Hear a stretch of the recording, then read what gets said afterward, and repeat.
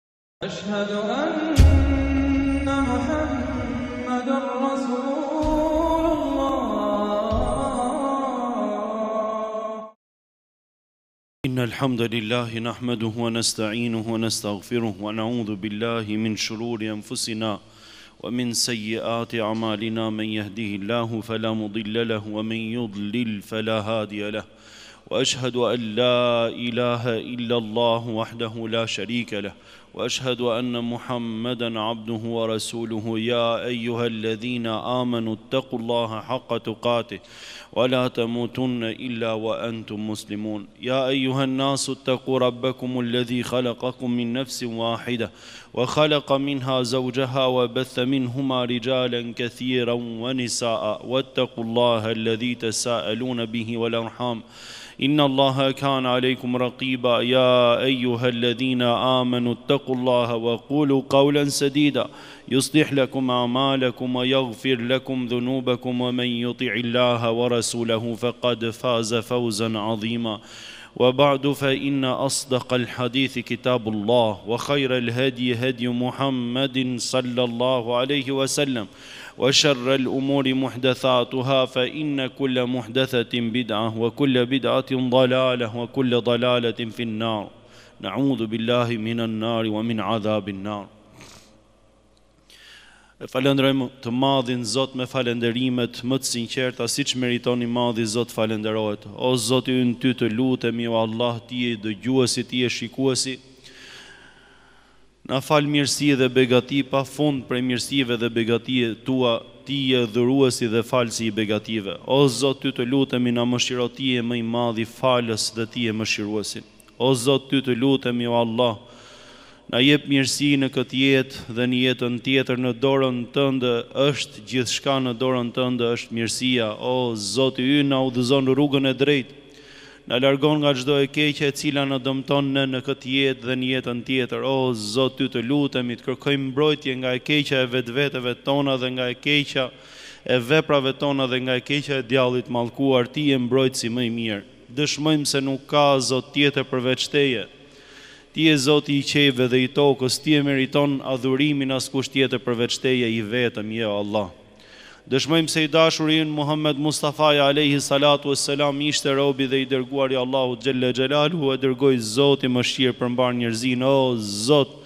dërgoja atij salavatet edhe selamet ja Allah familjes tij, shokëve tij dhe o Zot fali dhe mëshiroji të gjithë besimtarët edhe besimtaret që ndjekin rrugën e tyre deri në ditën e fundit Amin. Prej mirësive të Allahut xhelleshanuhu është se Ai dërgoi profetë, se Ai zbriti libra dhe shpallje hyjnore që të udhëzojë njerëzimin në rrugën e drejtë. Dërgoi profetët të cilët udhëzojnë dhe orientojnë njerëzimin për tek e mira, për t'i shmangur nga çdo e keqe në cilën shejtani i mallkuar don që t'i çojë dhe t'i shkatërrojë, për t'i nxjerrë njerëzit nga errësira në dritë, për t'i lidhur ata me Allahun xhelleshanuhu me atë të cilin duhet lidhen me Zotin e tyre.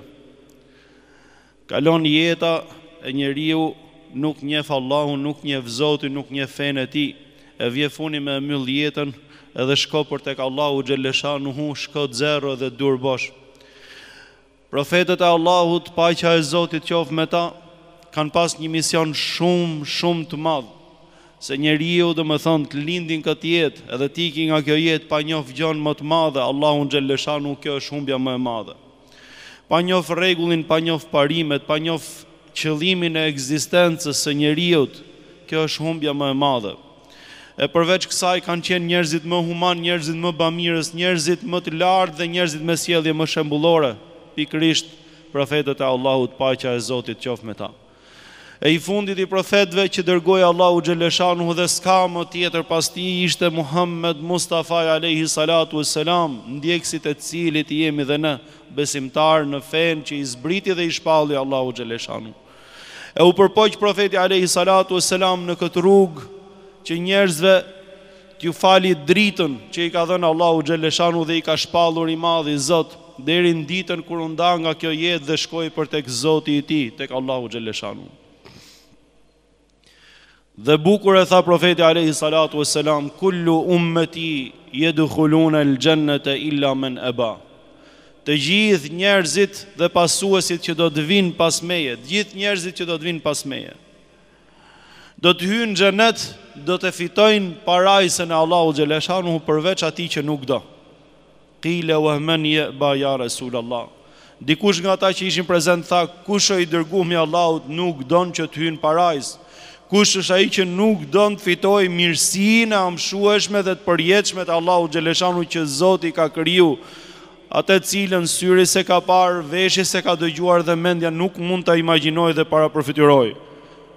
Qale men ata'ani dakhala al-jannah wa men 'asani dakhala an-nar faqad aba. Ai i cili, thotë Profeti alejhi salatu ves selam, e ndjek rrugën time, e pason rrugën time, i i i beson ato gjëra për të cilat unë kam lajmëruar nëpërmjet Allahut xheleshanuhu, Beson gjithçka që unë kam thënë dhe mundohet që të jetë njeri i mirë në këtë jetë dhe të ndjeki shembullin e Profetit alejhi salatu ue selam, ky do të hyjë në xhenet. Ndërsa ai i cili nuk e ndjek rrugën time, nuk e ndjek traditën time, nuk ndjek pra besimin e Profetit, sjelljen e Profetit, adhurimin e Profetit alejhi salatu ue selam,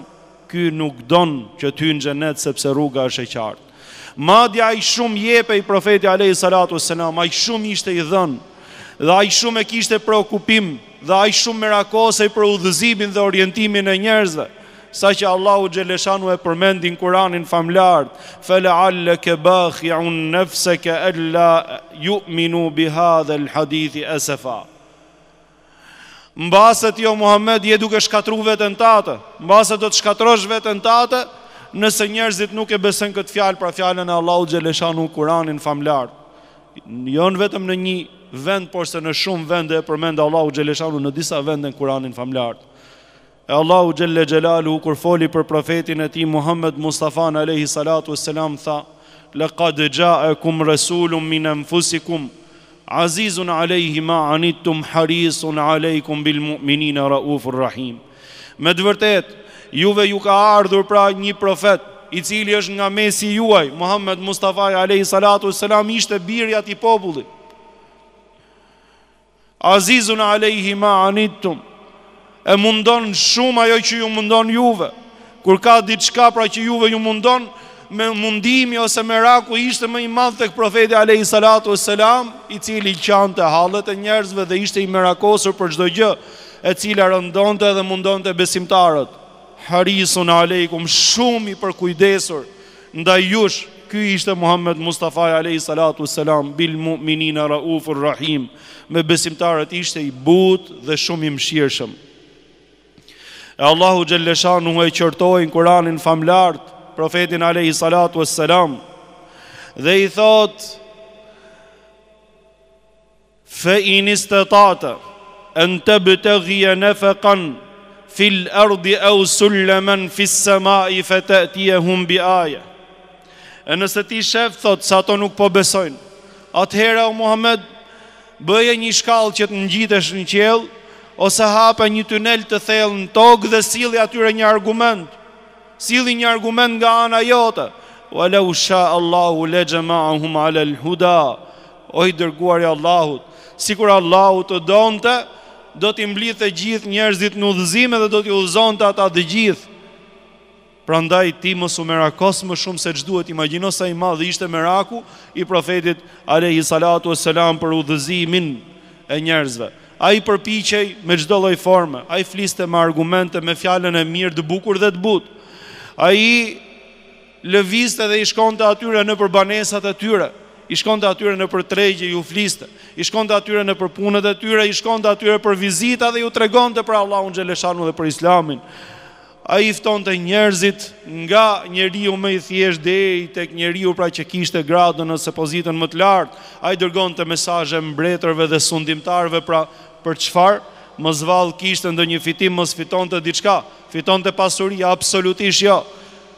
fjala të cilën e kanë thënë gjithë profetët siç tregon Allahu xhelle shanuhu në Kur'anin famlart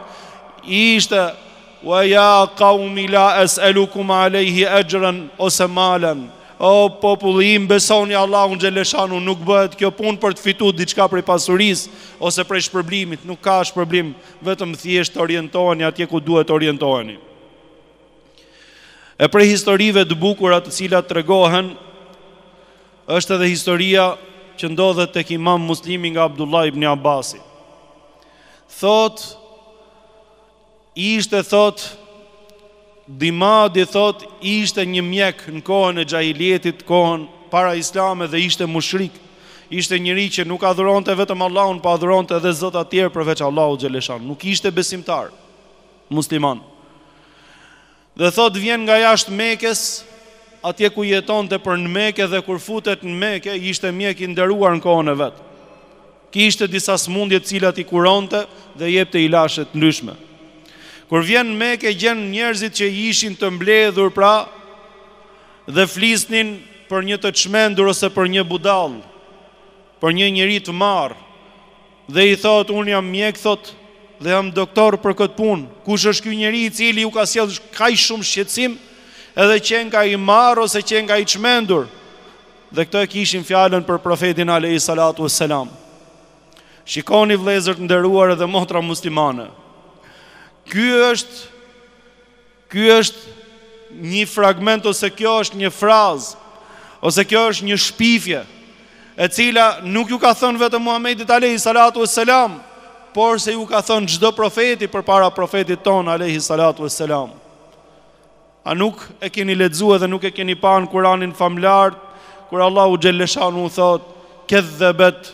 Qablahum qawmu Nuhin fekadhabu abdana wa qalu majnunun wazdujir Përpara tyre e kanë përgënjeshtru populli i tij Nuhun alejhi selam, profetin e Allahut, profetin e madh. E përgënjeshtruan robin ton, thot Allahu xhaleshanu njeriun ton të afërt, thanë është mashtrues dhe thanë është i marrë, është i çmendur, i penguar. Është i çmendur, i penguar. Madje thot Allahu xhaleshanu në Kur'anin famlartë ma ata alladhina min qablihim min rasulin illa qalu sahirun aw majnun. Sa herë që Zoti dërgonte një profet tek popujt e mëparshëm, ata thonin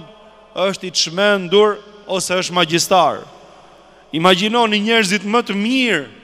që kanë qenë në sipërfaqen e tokës, njerëzit më të drejtë, njerëzit më të sinqertë, njerëzit më të vërtetë, njerëzit më të dashur te Allahu xhaleshanuhu, ka pas prej njerëzve edhe prej popullit të tyre njerëz të afërt, mundet edhe nga familjet, nga fisi i tyre, të cilët ju kanë thënë mexhnun, I marrë, i çmendur ose magjistar. E kështu i thanë edhe Profetit alejhi salatu ue selam fillimet e veta pra kur ai erdhi me këtë shpallje edhe me këtë të vërtetë të madhe pra që ta adhurojnë vetëm Allahun edhe askënd tjetër përveç Allahut xheleshanuhu. Atëherë i thotë Dimadi pra ky mjek i thotë ma leni mu thotë se do të merrem unë me këtë. Derisa shkon tek Profeti alejhi salatu ue selam i afrohet dhe i thotë O ti i thotë, Më tha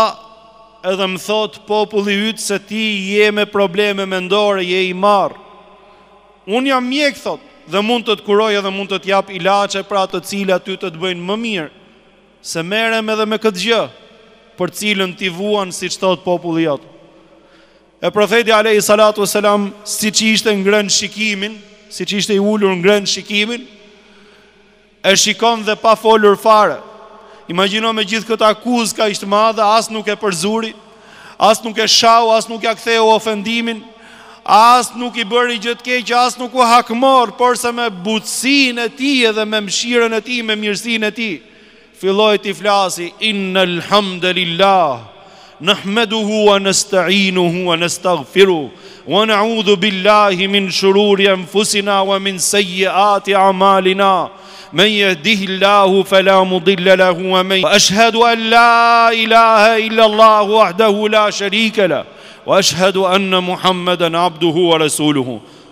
Bëri pra duanë, parathënien, e fjalës që do të thonte dhe donte të thonte ajete nga Kurani famëlartë që ia ka zbritë Allahu xhelleshanu, me i tregu që kjo është ajo për të cilën mua më akuzon populli im se jam i marrë ose i çmendur. Dhe në momentin që e dëgjoi këtë hyrje kaq të bukur me të vërtetë falenderimet janë për Allahun xhelleshanu, Atij i kërkojmë ndihmë dhe Atij i kërkojmë falje për gjithçka prej gabimeve tona. Dhe ne i kërkojmë mbrojtje të Madhit Zot që Allahu të na ruajë nga e keqja e vetveteve tona dhe nga pasojat e veprave tona të zymta dhe të këqija, sepse me të vërtetë atë që e udhëzoi Allahu nuk ka kush ta humbi, dhe ai i cili zgjodhi humbjen dhe devijimin për vetveten e tij kush mund ta udhëzojë përveç Allahut xheleshanuhu? Dëshmoj se nuk ka zot tjetër përveç Allahut, i cili me të drejtë meriton adhurimin, dhe dhe se Muhamedi është robi dhe i dërguari i tij. Imagjinoni këto fjalë kur i dëgjoi dhimami nuk ishte nigju najherë si këto fjalë. I thot prit prit thot përsërite edhe një herë të lutem. Dhe e përsëriti profeti alejhi salatu e selam përsëri. Thot lutem edhe një herë përsërite thot ta logjikoj dhe ta konceptoj tamam. Dhe e përsëriti për s'treti profeti alejhi salatu e selam atëherë i thot pasha Allahun Pasha Allah unë thot, i kam nigju thot fjalët e budallenjve dhe të marrëve, i kam nigju fjalët e magjistarëve, i kam nigju fjalët e fallxhorëve, i kam nigju fjalët e poetëve, porse kjo nuk është asgjë prej këtyre pra, nuk ka lidhje me këto. Thot të lutem thot ma thuj edhe njëherë thot sepse kjo fjala jote thot është digju thot deri tek xhinët më të largët që jetojnë nëpër dete thot. Prandaj të lutem, thotë, ma thuj dhe njëherë, derisa ia përsëriti përsëri Profeti alejhi salatu ue selam, dhe i thotë, zgjate dorën, o i Dërguari i Allahut, të të jap besën. E thotë, më trego, thotë, për besimin. I tregon për Allahun, i tregon për fenë islame, për obligimet, për madhështinë e Allahut, për argumentet e Allahut. E ai i cili shkoi tek Profeti alejhi salatu ue selam që me e mjeku, edhe që me e kuru për diçka që e akuzonte populli i tij,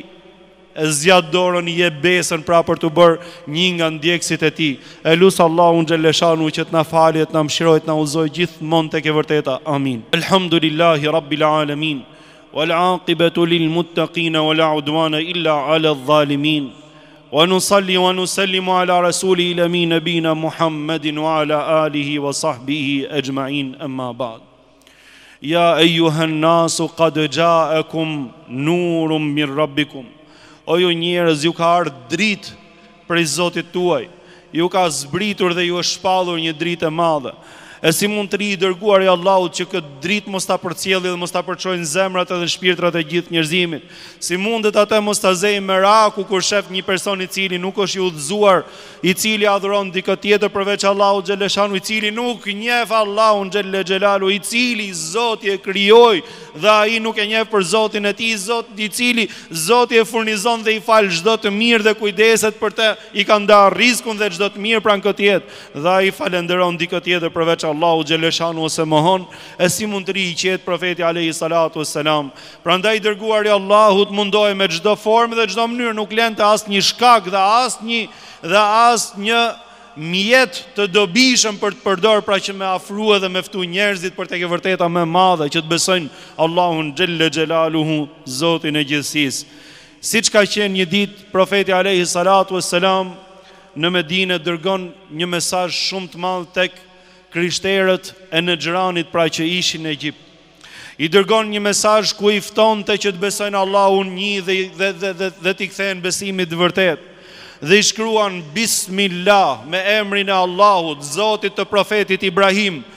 të profetit Ishak dhe profetit Jakub. Ia dërgon një letër të gjatë profeti alejhi salatu ue selam që ato të kthjellohen dhe të ndërgjegjësohen dhe t'i thonë për Zot vetëm atij që e meriton pra që të jetë Zoti i gjithësisë, Allahu xhelleshanuhu. Dhe i thotë, pra kjo ju vjen ftesë dhe shpallje, nëpërmjet Allahut xhelleshanuhu, pra nëpërmjet Profetit alejhi salatu ue selam një ftesë, një ftesë për në besimin e vërtetë. Atëherë e marrin fletën dhe ia çojnë kryepeshkopit të tyre. E lexon, e lexon ftesën e Profetit alejhi salatu ue selam dhe futet në dilemë, nuk di se ç'të bëjë.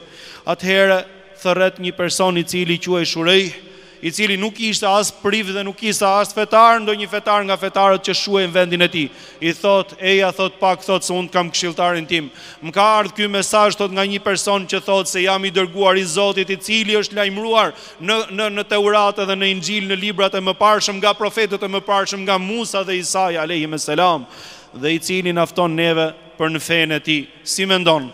I thotë, A nuk ke frikë, thotë, Se ky mund të jetë me të vërtetë Profeti i dërguar për të cilin kanë lajmëruar librat e mëparshëm, e ti nëse e përgënjeshtron atëherë do të jetë zullum i madh nga ana jote. I thotë, Ulu, ulu, thotë, ta mendojmë. Atëherë urdhërohen të gjitha kishat që të ndezin pra ato kandilet e tyre dhe të dhe të të bien këmbanat që njerëzit të mblidhen, tetëdhjetë e tre fshatra mblidhen që të gjithë, njëqind e njëzet mijë njerëz pra luftëtarë të cilët mblidhen, me urdhrin e kryepeshkopit dhe ai i nxjerr përpara dhe i thotë, kam këtë letër që më ka ardhur nga Muhamedi, pra, nga profeti i Zotit, siç na fton neve që të besojmë fenë e tij.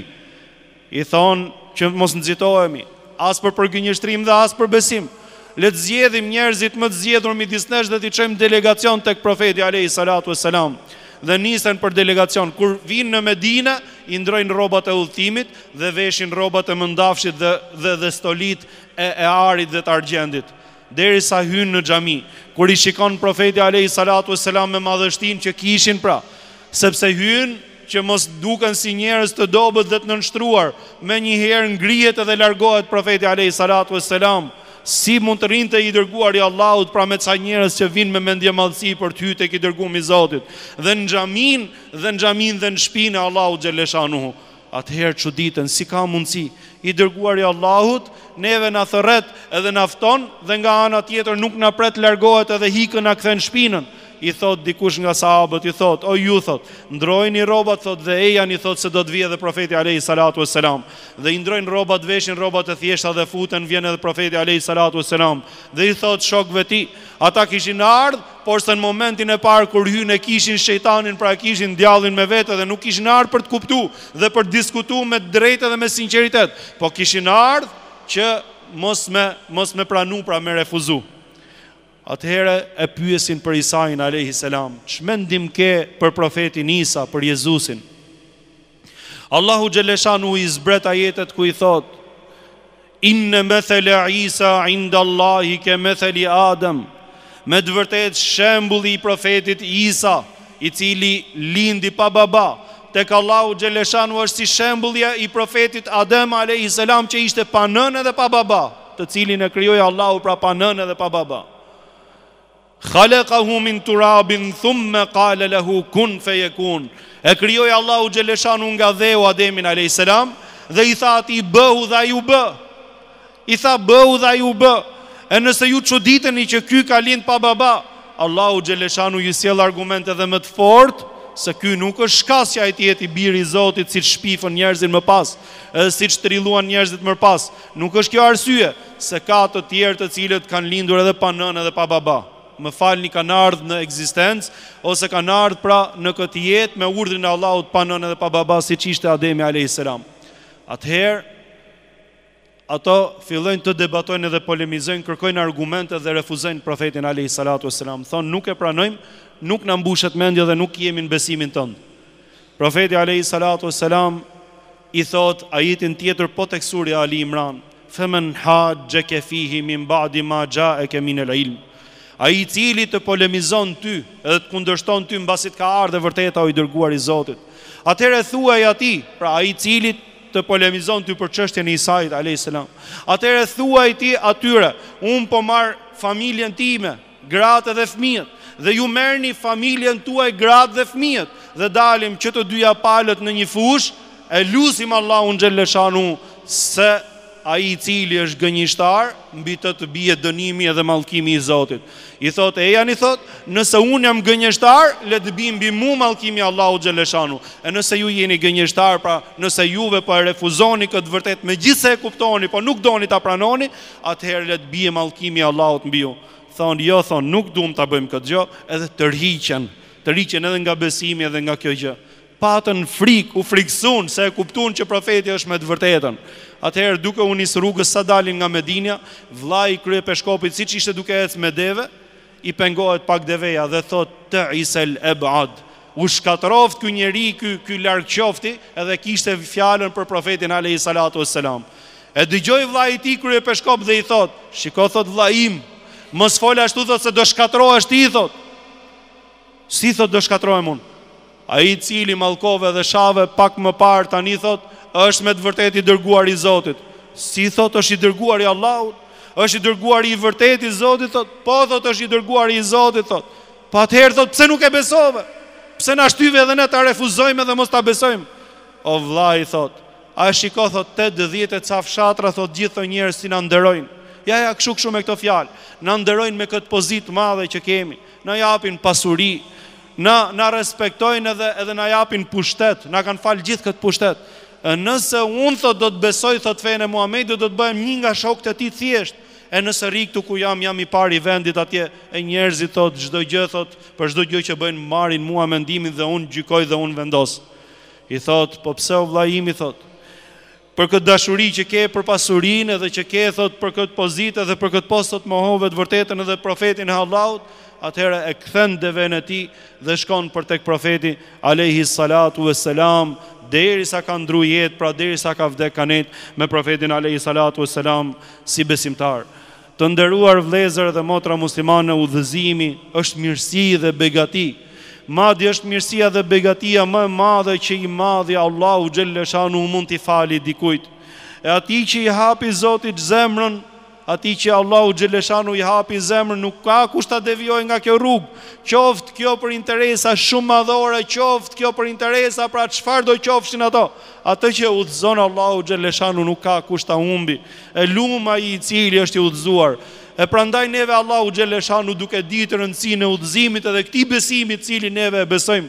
na e bëri obligim që neve në çdo ditë natë minimumi shtatëmbëdhjetë herë kur falim pesë farzet namaz, minimumi vetëm kur falim pesë namazet vaktet, shtatëmbëdhjetë herë të themi, Ihdina sirate el mustakim Na udhëzo Allah për në rrugën e drejtë E lusim Allahun xhelleshanuhu të na udhëzojë Zoti në rrugën e drejtë Të na udhëzojë Zoti në rrugën e drejtë në kryerjen e namazit Në rrugën e drejtë në dhënien e zekatit edhe të sadakasë Në rrugën e drejtë në sjellje me njerëzit Edhe në komunikim me prindin, me fqinjin, me shokun, me, me vëllain musliman, me motrën muslimane Në rrugën e drejtë pra në të gjithë jetën tonë Qoftë ke familja, qoftë ke vetvetja jote, qoftë marrëdhënie me Allahun xhelleshanuhu, e lum për atë të cilin është në rrugën e drejtë, lum për atë të cilin është në rrugën edhe në thirrjen e profetëve alejhimus salatu ue selam, paqja e Zotit qoftë me ta. E lus Allahun xhelleshanuhu që mua dhe ju të na fali dhe të na mëshirojë, t'i fali prindit tanë, t'i fali